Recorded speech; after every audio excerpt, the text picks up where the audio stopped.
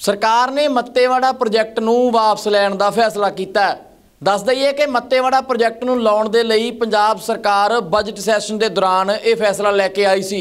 ਇਸ ਤੋਂ ਪਹਿਲਾਂ ਕੇਂਦਰ ਦੇ ਇਸ ਪ੍ਰੋਜੈਕਟ ਨੂੰ ਕੈਪਟਨ ਸਰਕਾਰ ਵੀ ਲੈ ਕੇ ਆਈ ਸੀ, ਪਰ ਉਸ ਸਮੇਂ ਐਮਪੀ ਹੁੰਦਿਆਂ ਭਗਵੰਤ ਮਾਨ ਜੀ ਨੇ ਦਾ ਵਿਰੋਧ ਕੀਤਾ ਸੀ। ਹੁਣ ਮੌਜੂਦਾ ਸਮੇਂ ਮੁੱਖ ਮੰਤਰੀ ਬਣਨ ਤੋਂ ਬਾਅਦ ਉਹਨਾਂ ਦੀ ਸਰਕਾਰ ਦੀ ਅਗਵਾਈ ਦੇ ਵਿੱਚ ਇਹ ਪ੍ਰੋਜੈਕਟ ਦੁਬਾਰਾ ਲਿਆਂਦਾ ਜਾਂਦਾ ਜਿਸ ਕਰਕੇ ਸਰਕਾਰ ਨੂੰ ਰੋਹ ਦਾ ਸਾਹਮਣਾ ਕਰਨਾ ਪਿਆ ਤੇ ਲੋਕ ਰੋਹ ਦੇ ਚੱਲਦਿਆਂ ਅੱਜ ਪੰਜਾਬ ਸਰਕਾਰ ਦੀ ਪੀਏਸੀ ਨਾਲ ਜਿਹੜੀ ਕਮੇਟੀ ਇਸ ਅੰਦੋਲਨ ਦੀ ਅਗਵਾਈ ਕਰ ਰਹੀ ਸੀ, ਇਸ ਪ੍ਰੋਟੈਸਟ ਦੀ ਅਗਵਾਈ ਕਰ ਰਹੀ ਸੀ, ਉਹਦੇ ਨਾਲ ਮੀਟਿੰਗ ਚੱਲ ਰਹੀ ਹੈ ਤੇ ਇਹ ਖਬਰਾਂ ਸਾਹਮਣੇ ਆ ਰਹੀਆਂ ਨੇ ਕਿ ਸਰਕਾਰ ਨੇ ਇਸ ਪ੍ਰੋਜੈਕਟ ਨੂੰ ਵਾਪਸ ਲੈ ਲਿਆ।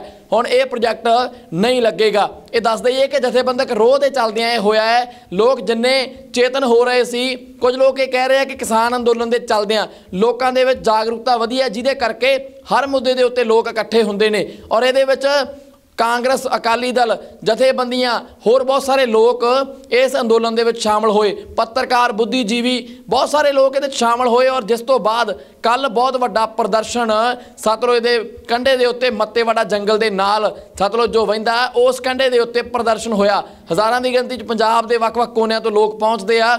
ਜਿਹਦੇ ਕਰਕੇ ਅੱਜ ਪੀਏਸੀ ਦੀ ਮੀਟਿੰਗ ਬੁਲਾਈ ਗਈ ਹੈ। ਪੰਜਾਬ ਸਰਕਾਰ ਨਾਲ ਉਹ ਮੀਟਿੰਗ ਚੱਲ ਰਹੀ ਹੈ ਔਰ ਖਬਰਾਂ ਸਾਹਮਣੇ ਆ ਰਹੀਆਂ ਨੇ ਕਿ ਸਰਕਾਰ ਨੇ ਉਹ ਪ੍ਰੋਜੈਕਟ ਰੱਦ ਕਰਨ ਦਾ ਫੈਸਲਾ ਕੀਤਾ ਨਾਲ ਹੀ ਇਹ ਵੀ ਹੈ ਕਿ ਇਸ ਤੋਂ ਬਿਨਾ ਜਿਹੜੇ ਹੋਰ ਇੰਡਸਟਰੀ ਦੇ ਵੱਲੋਂ ਜਿਹੜਾ ਗੰਦਾ ਪਾਣੀ ਸਤਲੁਜ ਦੇ ਵਿੱਚ ਪਾਇਆ ਜਾ ਰਿਹਾ ਜਲੰਧਰ ਤੇ ਲੁਧਿਆਣੇ ਦੀ ਇੰਡਸਟਰੀ ਵੱਲੋਂ, ਉਹਨੂੰ ਰੋਕਣ ਦੇ ਲਈ ਵੀ ਲੋਕਾਂ ਦੇ ਵਿੱਚ ਗੱਲ ਚੱਲਦੀ ਰਹੀ ਆ ਪਿਛਲੇ ਸਮੇਂ ਦੌਰਾਨ ਰੌਲਾ ਪੈਂਦਾ ਰਿਹਾ।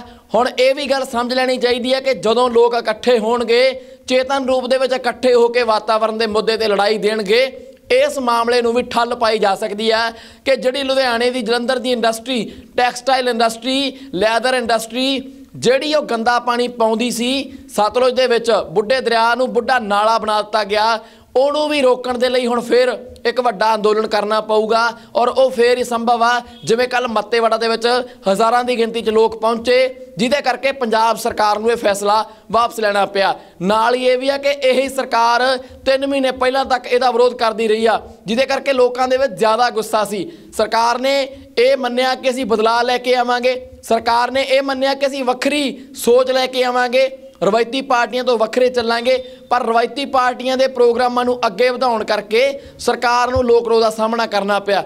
ਜਿਹਦੇ ਕਰਕੇ ਹੁਣ ਸਰਕਾਰ ਨੇ ਲੋਕ ਰੋਹ ਦੇ ਚੱਲਦਿਆਂ ਇਹ ਫੈਸਲਾ ਕੀਤਾ। ਇਹ ਚੰਗੀ ਗੱਲ ਆ ਕਿ ਸਰਕਾਰ ਨੂੰ ਪਿੱਛੇ ਮੁੜਨਾ ਪਿਆ ਤੇ ਸਰਕਾਰ ਪਿੱਛੇ ਮੁੜੀ ਆ। ਚੰਗੀ ਗੱਲ ਆ। ਲੋਕਾਂ ਨੂੰ ਇਹ ਵਿਸ਼ਵਾਸ ਹੋਇਆ ਕਿ ਉਹਨਾਂ ਦੇ ਸੰਘਰਸ਼ ਨਾਲ ਔਰ ਸਰਕਾਰ ਦੀ ਸਮਝ ਬੂਝ ਨਾਲ ਇਹ ਫੈਸਲਾ ਲਿਆ ਗਿਆ ਕਿ ਇਹ ਪ੍ਰੋਜੈਕਟ ਹੁਣ ਨਹੀਂ ਲੱਗੂਗਾ। ਹੋਰ ਖਬਰਾਂ ਲਈ ਲੋਕ ਆਵਾਜ਼ ਟੀਵੀ ਦੇਖਦੇ ਰਹੋ।